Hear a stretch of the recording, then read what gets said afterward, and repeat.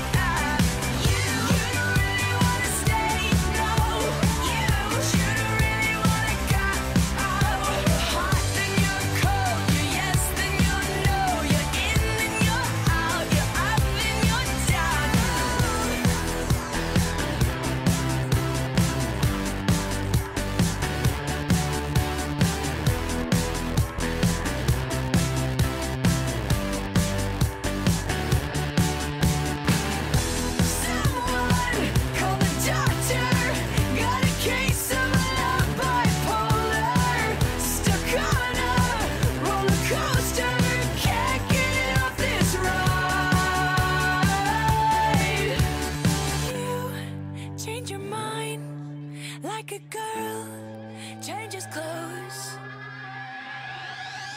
Cause you're hot.